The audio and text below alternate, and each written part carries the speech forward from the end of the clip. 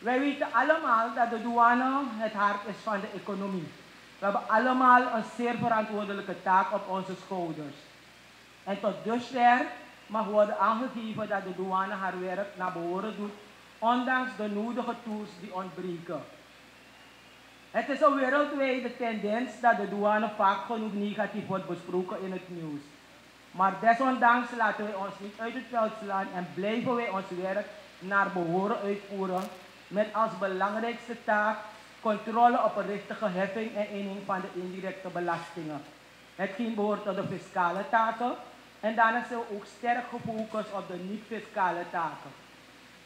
Als belangenorganisatie binnen het Korps Douane Suriname is ons voornaamste doel het opkomen voor de belangen van de douaneambtenaren, het zeker stellen en verbeteren van hun maatschappelijke positie, het verstevigen en wettelijk vastleggen van hun rechtspositie en niet te vergeten professionalisering van de organisatie.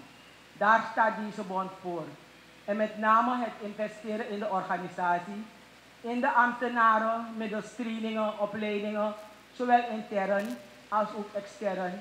En bovenal het belonen van de ambtenaren voor de inzet. Gezien het veelomvattend en zeer verantwoordelijk werk van de douane, is het meer dan duidelijk dat de douane zeer ondergewaardeerd is als we kijken naar onze huidige loonreeks. De bond heeft reeds een nieuwe loonreeks gepresenteerd aan het ministerie en wij kijken er naar uit dat er overeenstemming hierover kan worden bereikt. Zijn excellentie, president Santoki, wij zijn zeer vereerd met uw bezoek en hopen dat u heel veel positiefs voor ons heeft meegenomen. Vooral op dit moment waarop er grote demotivatie heerst onder de ambtenaren vanwege het uitblijven en niet nakomen of niet op tijd nakomen van vele afspraken met betrekking tot de rechtspositionele zaken. Zowel wat betreft het korps douane als ook het burgerpersoneel, van zowel de douane als ook de ontvanger. President, er zijn zeker enkele belangrijke zaken waarnaar de bond als ook het geheel korps naar uitkijkt. Namelijk 1. Het nieuwe douanegebouw. 2. Het groot tekort aan douaneambtenaren. Het is passen en meten binnen de dienst. Dus wij vragen op zeer korte termijn over te gaan tot een nieuwe werving van ambtenaren. En gelooft u mij, de behoefte is groot.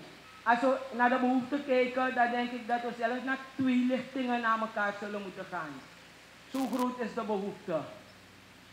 Verder een belangrijk punt, invulling van de dienstleiding.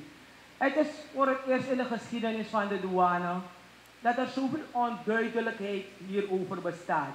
Dat er niet tijdig hierop is ingespeeld. Dat zelfs ons plaatsvervangend hoofd van de dienst reeds met verlof aansluitend pensioen is en er niet voor vervanging is gezorgd.